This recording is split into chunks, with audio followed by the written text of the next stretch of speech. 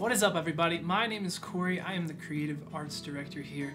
That's kind of a weird title. A lot of people don't really even know that I exist in this church, and that's kind of the way that I want it.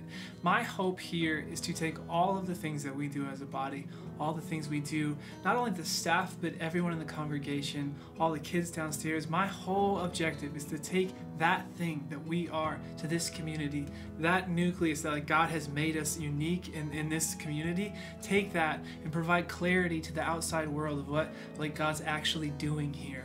I think that there's a lot of churches in this city, in this state, that are just awesome and they're perfect for some people and where they are with God and the path that God has them on. But I also know that there's people in this community and just all around our city that are looking for other people that that just they have the same mindset. They have this this same calling that God has given them and I'm here to hopefully communicate that to the outside world so that when they're browsing the internet and they're looking through Instagram and they're trying to figure out like where is my church home that they can see the people here in their fullness and in their realness and go, those are my people.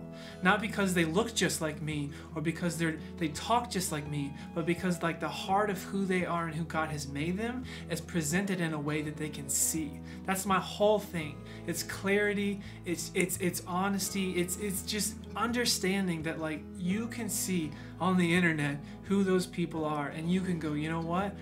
I might have just moved to Overland Park or I might have been here forever, but I can see right there on that website and right in that Instagram feed, I can see my people, I can hear my people, and I can hear uh, their hearts stirring for the same thing that like God's stirring in my heart.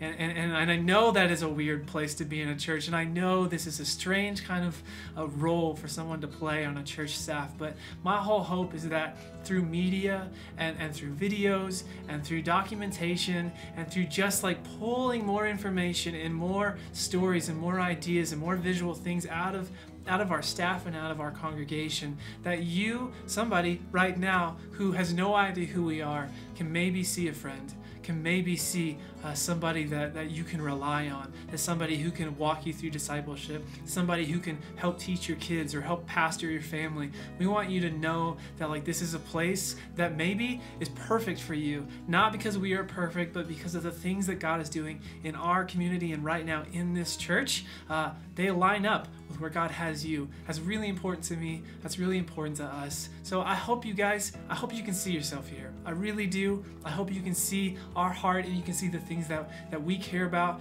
We just want to see Jesus like just burst in this community. We want, we want people to understand and know and, and receive salvation from Jesus. We want that to happen, but we're a place in a, in a church that really wants to see men and women become reliable men and women who can help see like disciples be made in this community. We think it's going to change the world. We think it's going to change our families. We think it's going to change everything about Overland Park so that people might come to know Jesus and know him fully forever for their whole lives. We hope you guys will join us some Sunday.